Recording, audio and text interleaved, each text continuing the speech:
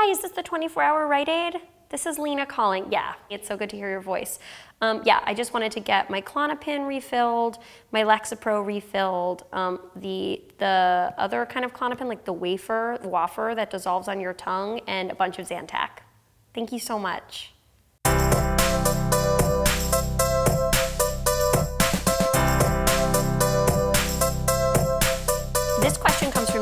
In Croton on Hudson, New York. How can I stop being jealous of other people's good fortune?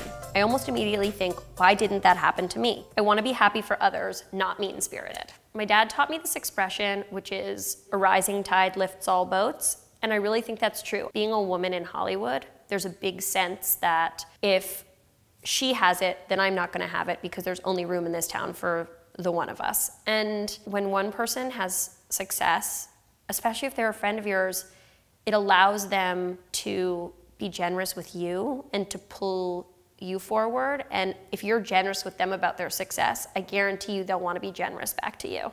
I also think that all the time you spend being jealous of other people is time you're not spending focusing on your own vision for yourself and pushing forward. Make a fatty to do list and just hit that shit hard. I guarantee you, when you feel excited about your own pursuits, you are not going to be you're going to be too narcissistic to even worry about what she's up to. And at the end of the day, as they say in Alcoholics Anonymous, a place I have never been except to support a friend, keep your side of the street clean and they can worry about their side of the street. My name is Lena Dunham, and my book, Not That Kind of Girl A Young Woman Tells You What She's Learned, is for sale September 30th. I hope you buy it, and even if you don't, I'll still be your friend. Maybe.